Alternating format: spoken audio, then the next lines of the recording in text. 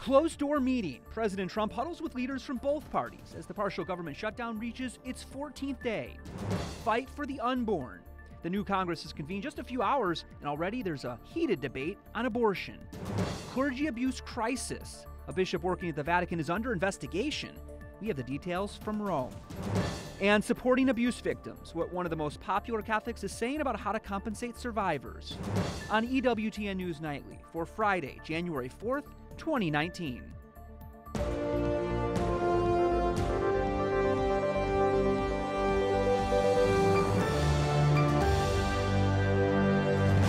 Good evening from Washington, D.C. Thanks for joining us for news from a Catholic perspective. I'm Jason Calvi, in for Lauren Ashburn. No deal. Two weeks into a partial government shutdown, and President Trump invites lawmakers back to the White House to negotiate. The president stands by his demand for border wall funding, but Democrats aren't budging. White House correspondent Mark Irons tells us about this shutdown stalemate. Mark? Good evening, Jason. President Trump met with Democratic leaders for about two hours here at the White House, but they still could not reach a deal on funding border security to end the government shutdown. And President Trump says he's prepared to keep the government closed as long as it takes, even months or possibly years. Did you say that? And I is did. that your I did.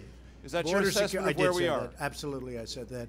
I don't think it will, but I am prepared, and I think uh, I can speak for Republicans in the House and Republicans in the Senate.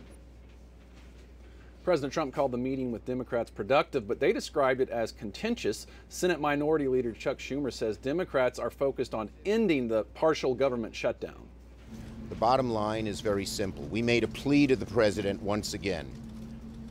Don't hold millions of Americans, hundreds of thousands of workers hostage. Open up the government and let's continue the discussions.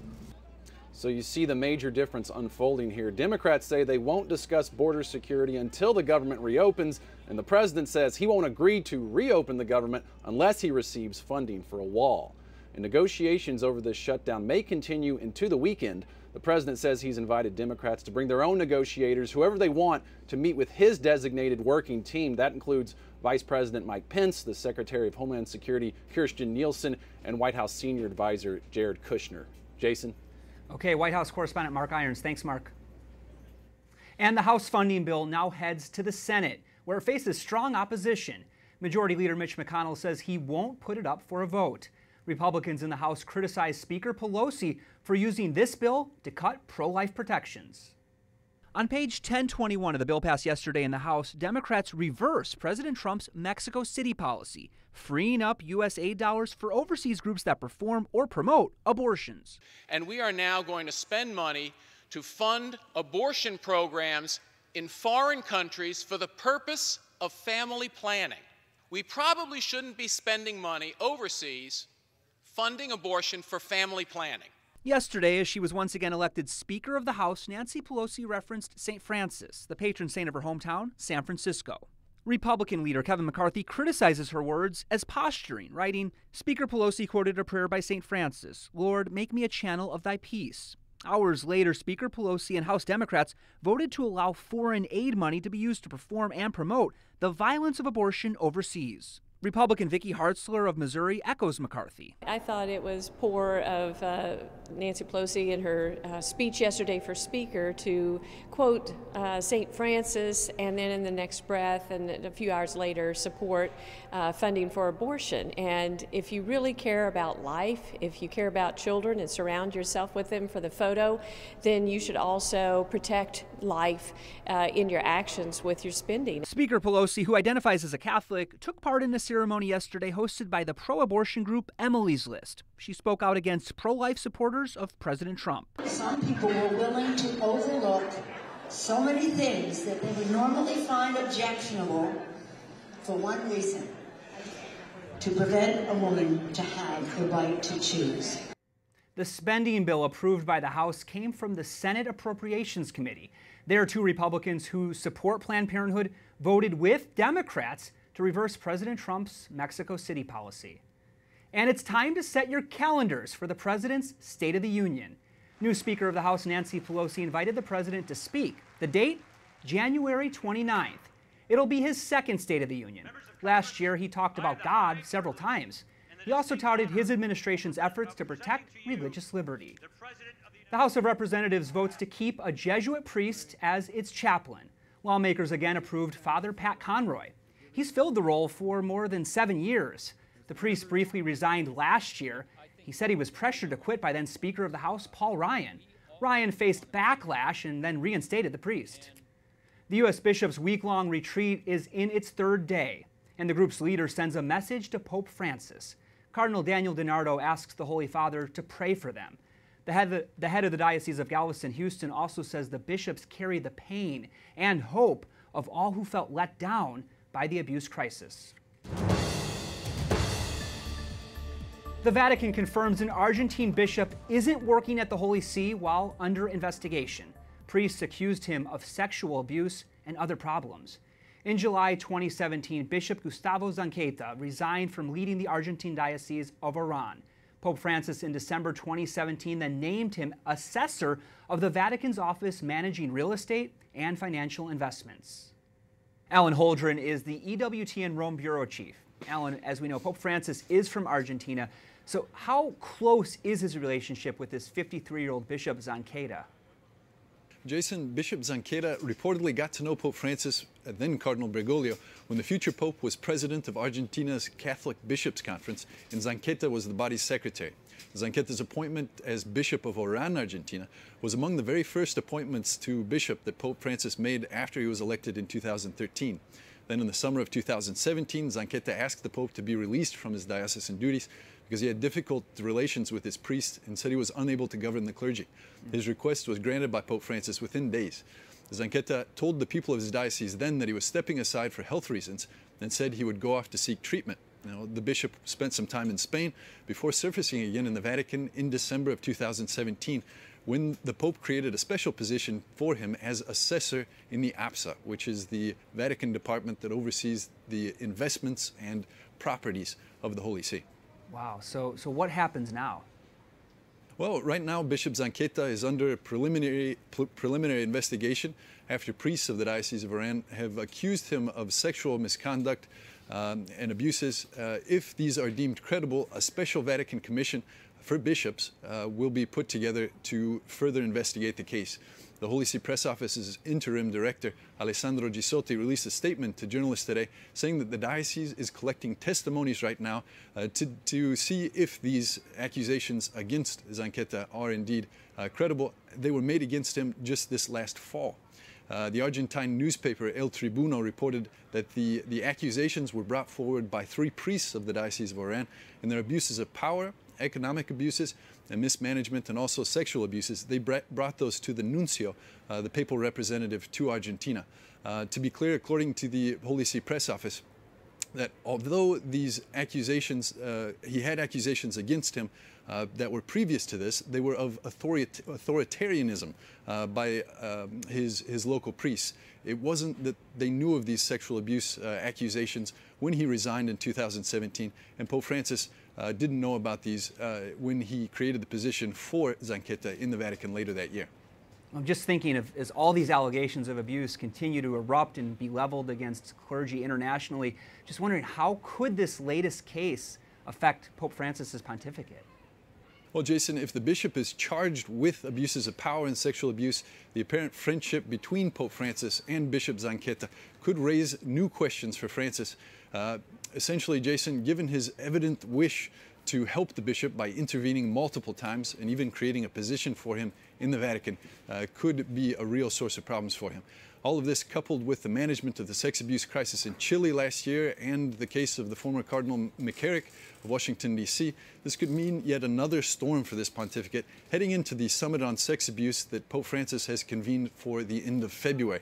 It also, might uh, add some more pressure to include uh, relationships between bishops and seminarians in the discussions in that February summit. Well, I know you'll be watching that very, very closely. Alan Holdren, EWTN Rome Bureau Chief, thanks so much. Thank you, Jason.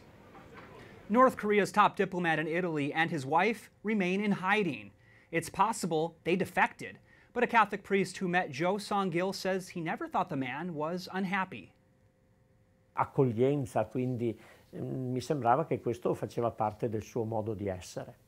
Father Bronino de Tofol also says their meeting last year was very friendly. The acting ambassador and his wife went into hiding a few weeks before their work in Italy was ending back in November. A high profile defection would be an embarrassment for North Carolina's North Korea's leaders.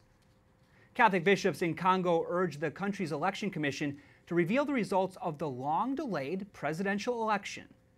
But the government criticizes the remarks, saying they could lead to violence. Voting took place last Sunday, two years after it was originally scheduled. Longtime President Joseph Kabila, Kabila delayed the vote several times. Catholic leaders helped negotiate this new election. A Catholic priest kidnapped on Christmas Eve says he was saved by prayer. Father Cajetan Apa and another priest were ambushed in Nigeria and held for four days. Their kidnappers let them go when they learned of a massive manhunt. Father Cajetan says prayer kept them alive in the bitter cold with little food or water. Coming up, analysis on Nancy Pelosi's return as Speaker of the House and the opposition she faced from her own party.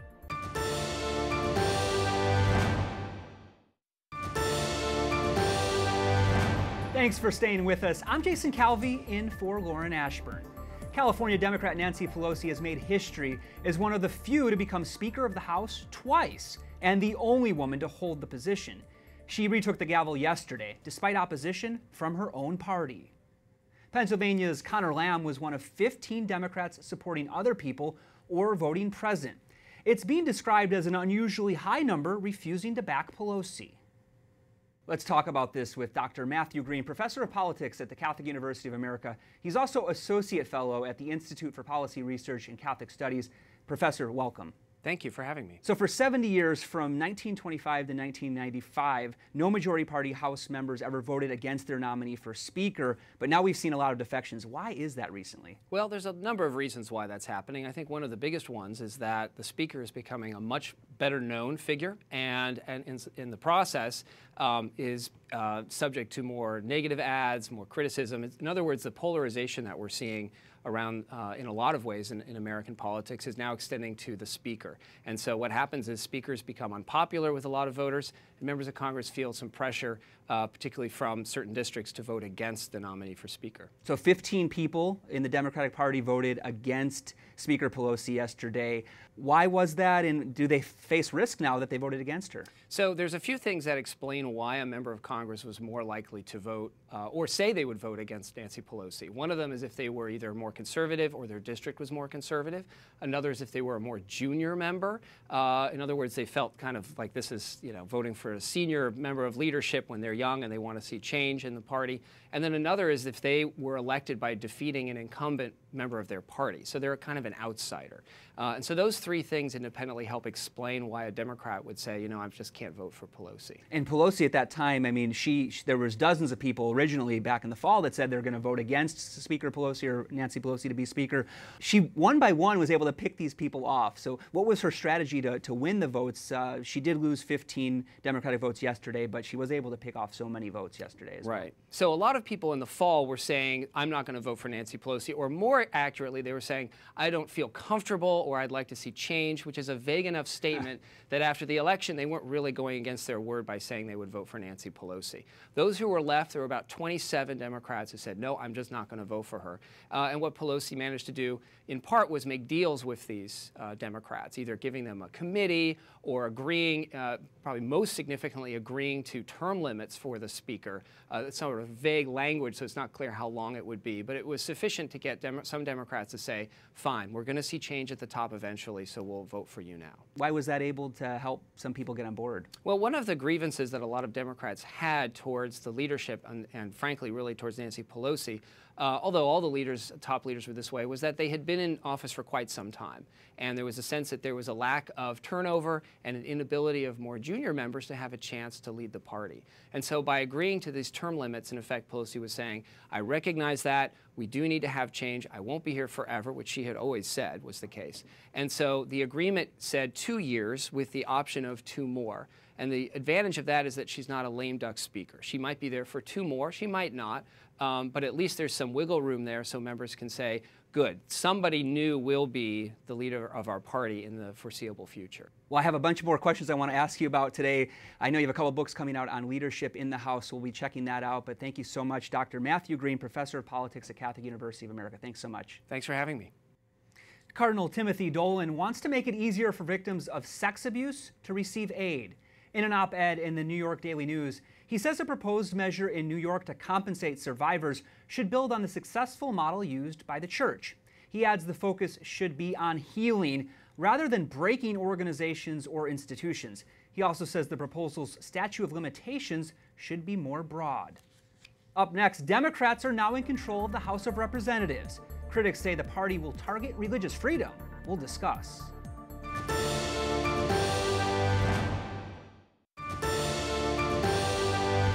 Welcome back. I'm Jason Calvi in for Lauren Ashburn. A judge in Kansas strikes down the state's attempt to ban one type of abortion. A telemedicine abortion is when a woman talks to a doctor via a video chat, and then the doctor prescribes abortion inducing drugs. The judge in the case says the new law was legally unenforceable.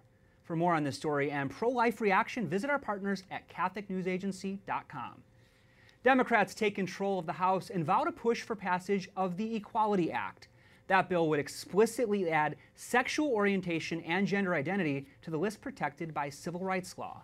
Let's take a look at this bill with Monica Burke, Research Assistant at the Heritage Foundation. Monica, welcome. Thank you for having me, Jason. So, this bill covers discrimination in broad areas of life, including employment, education, housing. How would this passage of this bill impact the country? Yes, so this bill would have a sweeping impact on federal anti discrimination law. What it could potentially mean is it could potentially mean a nationwide preferred pronoun policy. It could potentially mean. What does that mean, pr pronoun policy? Yes. So we've seen conflicts where people are being compelled by the government to use the preferred pronouns according to someone's preferred or self-identified gender identity against what their biological sex is. So we've already seen there was, for example, a teacher in Virginia who was fired not even for using the biological pronouns of someone who wanted to use their preferred pronouns, but simply from abstaining from using pronouns altogether. So potentially this bill could implement a policy like that that would force people to use preferred pronouns against their conscience from the national level. So the supporters of this law say, though, it's going to stop discrimination. What, would you say to them? We would say that this act simply doesn't deliver on its name. The Equality Act ultimately perpetuates inequality by forcing people to violate their consciences, by putting people in compromising positions that violate their privacy rights and their safety. So this bill could also impose a nationwide bathroom bill, which would open up sex-specific facilities to people of the opposite biological sex, which obviously poses extreme concerns for women and children's safety.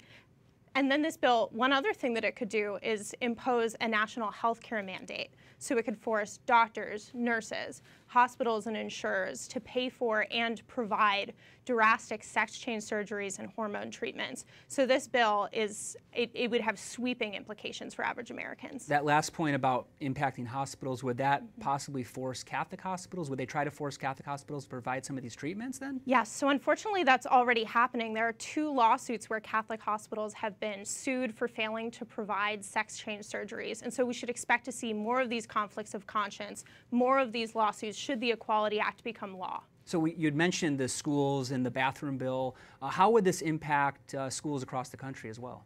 It would have a devastating impact on schools. So we've already seen a case out of Georgia where a five-year-old kindergarten student was assaulted by a male classmate in her in her bathroom. And basically, when her mother went to the school and said, "Hey, I would like to keep this boy out of the female-only spaces," what the school said was, "According to our policy, this student is allowed access to the facilities of the gender that he identifies with." So under a national policy like the Equality Act, we could expect to see more conflicts like that one. Speaker Pelosi yesterday in her remarks on the floor after taking the gavel said she promised to take this up for a vote. It would likely then fail in the Senate because in the Senate it would need 60 votes, which is almost impossible with, with all the conservatives in the Senate. But we're definitely monitoring this. Thank you so much for joining us. Monica Burke from the Heritage Foundation. Thank you so much. Thanks for having me. And finally, tonight, the United Nations says 2019 will be the year of indigenous languages. The UN says nearly 2,700 indigenous languages are in immediate danger, with hundreds of others in danger of disappearing at an alarming rate. The United Nations this month will launch this special year. I'm Jason Calvi, and for the entire EWTN News Nightly team, we thank you for watching tonight.